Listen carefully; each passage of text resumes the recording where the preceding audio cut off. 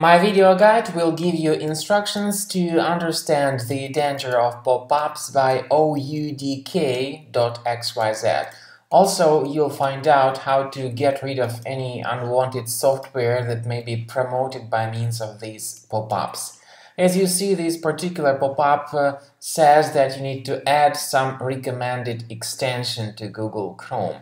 However, this particular extension is uh, able to hijack your default search engine and it can also read your browsing history. When you start submitting some search queries, you notice some tail search uh, to be the intermediary uh, and uh, no matter what search queries you submit, this tail search is uh, between your search query and the default search engine.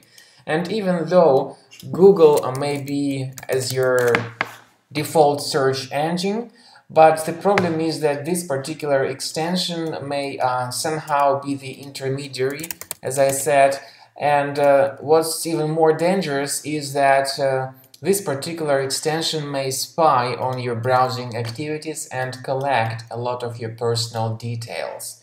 So, I recommend you to be careful and to get rid of any suspicious extensions that you might find available in your browser. Deactivate them and um, again stay away of those fake alerts.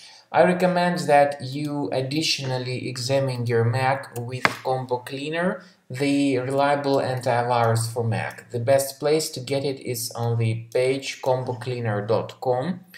So after the software is successfully downloaded, wait until it updates the antivirus database and click on Start Combo Scan.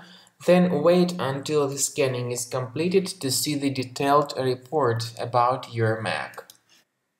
This is the end of scanning by Combo Cleaner Antivirus. Uh, whether the trial mode or the premium mode uh, is used, the program performs free research of your Mac computer. To uh, find out what exact threads were removed during the scan, click on Review Results.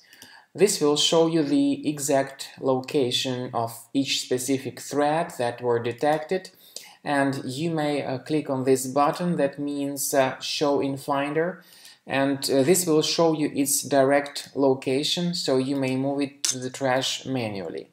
You may do the same thing with all other threads that were reported. You know their location based on this report, so you may remove each specific thread manually or automatically, however, with the premium version of the program. Thanks for watching.